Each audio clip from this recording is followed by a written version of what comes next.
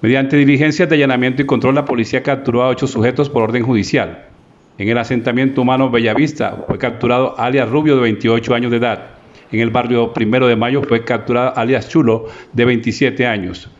También en la vereda Campogala fue capturado alias Tico de 40 años de edad y quien la policía asegura ejercía el control territorial del tráfico de estupefacientes en la Comuna 3 y El Llanito. Después de más de nueve meses de trabajo investigativo en coordinación con la Fiscalía General de la Nación Seccional Magdalena Medio, unidades de la SIGIN realizan el día de hoy un total de nueve allanamientos, afectando y desarticulando el grupo de delincuencia común organizado denominado los comuneros, eh, delincuentes dedicados al tema de hurto y venta de estupefacientes en diferentes comunas de Barranca Bermeja. También fue capturado alias Caballo, de 33 años de edad. En la ciudad de La Platón fue capturado alias Balín, de 23 años. En camino de San Silvestre, alias Culebrita, de 18 años.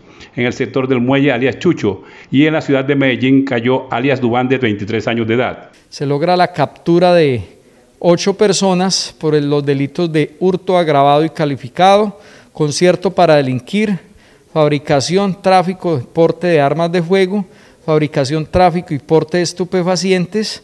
Asimismo, en eh, esos nuevos allanamientos se logra la incautación de 526 dosis de marihuana. A estas personas se les atribuye la participación en 10 hechos delictivos ocurridos el presente año en Barranca Bermeja, hurtos a droguerías y también a servientrega, al igual que una arrocera en la avenida 36. Todos tienen antecedentes delictivos, por lo cual esperamos que después de las audiencias eh, les den una medida intramural. Durante el desarrollo de las diligencias de registro y allanamiento fueron hallados elementos religiosos que según la investigación eran utilizados para realizar rituales antes y después de cometer sus fechorías como herramientas para evadir el cerco de las autoridades. Fueron encontrados unos elementos religiosos, estamos hablando de unos velones, se ha establecido que estos delincuentes realizaban algún tipo de rituales antes y posterior a la comisión de, los delitos. La policía asegura que los capturados ya están a disposición de la Fiscalía General de la Nación.